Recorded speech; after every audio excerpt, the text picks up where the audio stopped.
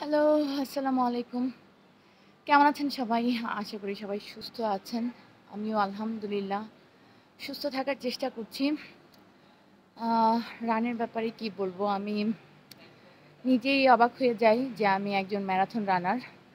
আমার রানের গতি এবং ফিটনেসের অবস্থা খুবই খারাপ।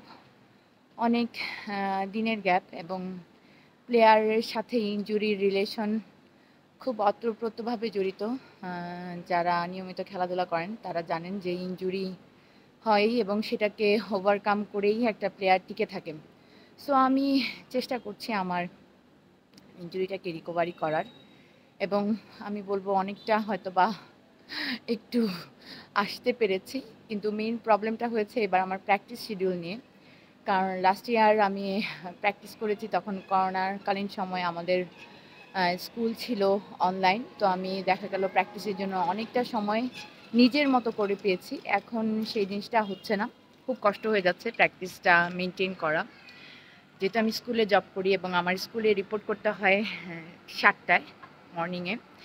তো খুব ডিফিকাল্ট মর্নিং প্র্যাকটিসটা কন্টিনিউ করা। আবার স্কুলের পর আমার কিছু প্রাইভেট ক্লাস থাকে, ওগুলা শেষ করে বাসায় আস্তে আস্তে বেঁধে যায় অনেক সময় ৮টা ৯টা কখনো ১০টা। যেমন আজকে আমি রান করতে নেমেছি ১০টার সময় অলমোস্ট ১০টার দিকে। তো আমার মা খুব বকছিল যে, "এত রাতে কেন রান করতে যাবা?"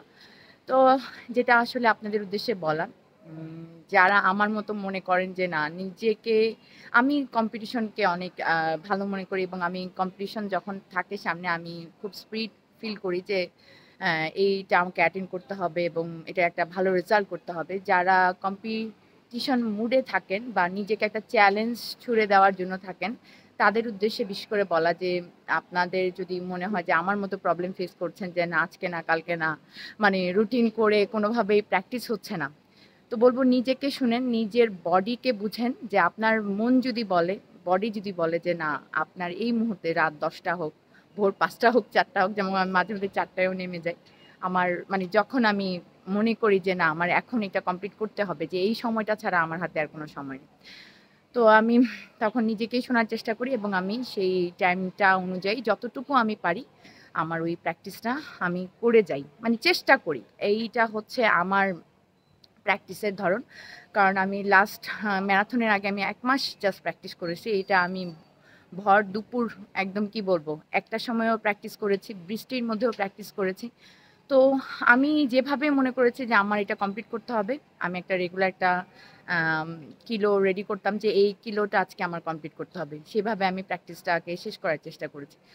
তো কম্পিটিশন অনেক, অনেক ইভেন্ট সামনে আসছে এবং আমি মনে করব যে ইভেন্ট বেশি হওয়া উচিত। অবশ্যই ইভেন্টের মাধ্যমেই একটা রানার বের হয়ে আসে এবং একটা প্লেয়ার তার পারফরমেন্স লেভেলটা বুঝতে পারে।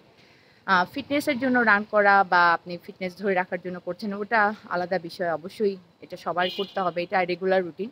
Fitness important.